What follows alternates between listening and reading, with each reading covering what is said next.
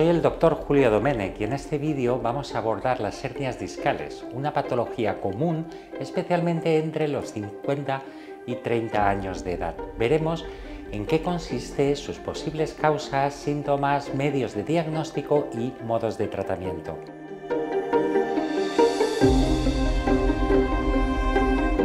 Las vértebras están amortiguadas por discos intervertebrales que permiten los movimientos de las mismas entre sí.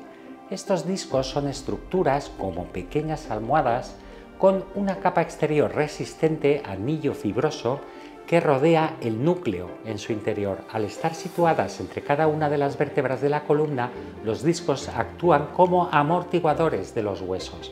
La hernia discal surge cuando de esos discos sale contenido del núcleo hacia el canal por donde discurren los nervios, que pueden llegar a ser comprimidos provocando dolor. Aunque puede ocurrir en cualquier parte de la columna, sucede con mayor frecuencia en la región lumbar. Por eso vamos a analizar cómo abordar una hernia discal lumbar que con una correcta indicación y tratamiento tiene una tasa de éxito superior al 85-90%.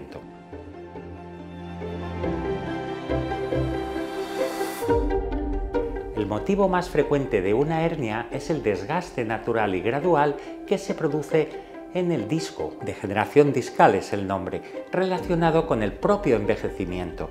Con el tiempo, los discos se vuelven menos flexibles y son más propensos a desgarrarse o romperse.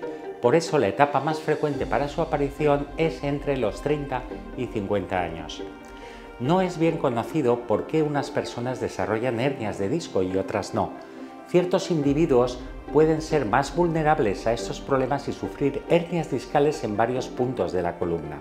Las investigaciones han demostrado que puede existir una predisposición en familias con varios miembros afectados. Asimismo, se puede asociar a los siguientes factores de riesgo. Peso, profesión, tabaquismo, conducción frecuente y sedentarismo. Es importante destacar que muchas personas tienen una hernia de disco y no les produce síntomas, ni dolor lumbar ni ciático, y con frecuencia son hallazgos casuales al realizar pruebas de imagen por otro motivo.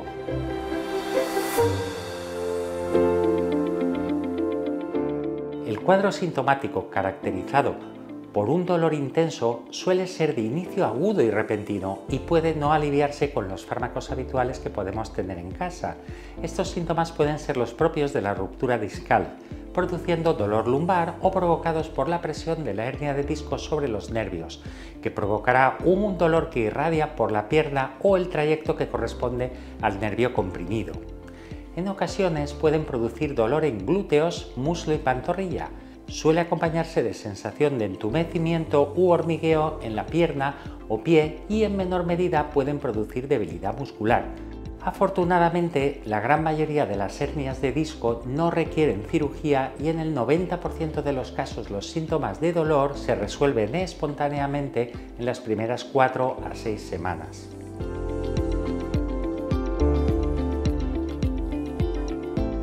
El diagnóstico de una hernia discal lumbar se basa fundamentalmente en un examen físico y neurológico donde se analizan los reflejos, la fuerza muscular, la capacidad para caminar y para sentir toques ligeros, pinchazos o vibraciones.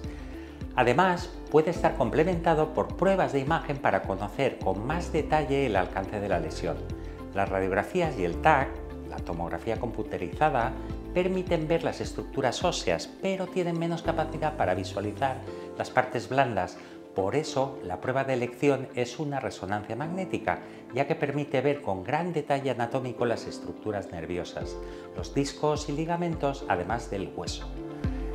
En ausencia de signos de alarma en la exploración y en la entrevista médica, como sería encontrar una pérdida de fuerza o una alteración de esfínteres, no es necesario realizar pruebas de imagen.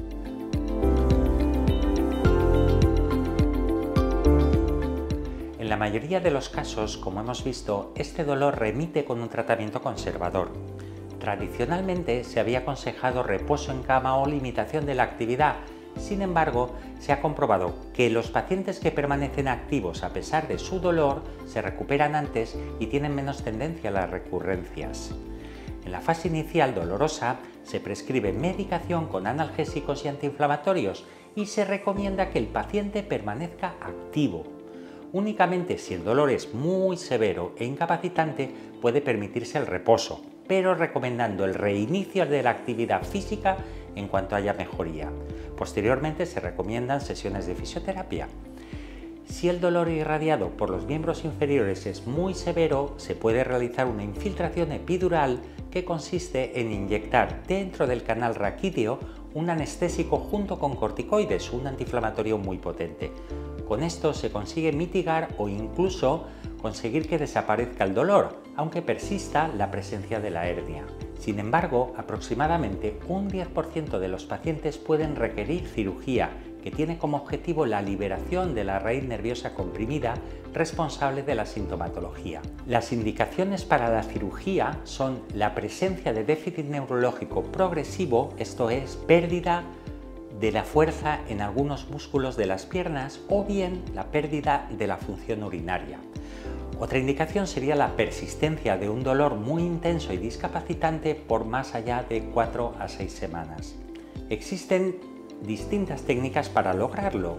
La más habitual es la extirpación de la hernia por una pequeña incisión en el centro de la espalda y usando técnicas de magnificación de la visión como el microscopio o lupas quirúrgicas se extirpa la hernia de disco. Para esta intervención no suele ser necesario colocar tornillos ni implantes. Como alternativa, algunas hernias se pueden operar con resultados similares por vía percutánea con la ayuda de endoscopios. Generalmente los resultados son inmediatos, con alivio del dolor y el paciente suele irse a casa en 24 horas.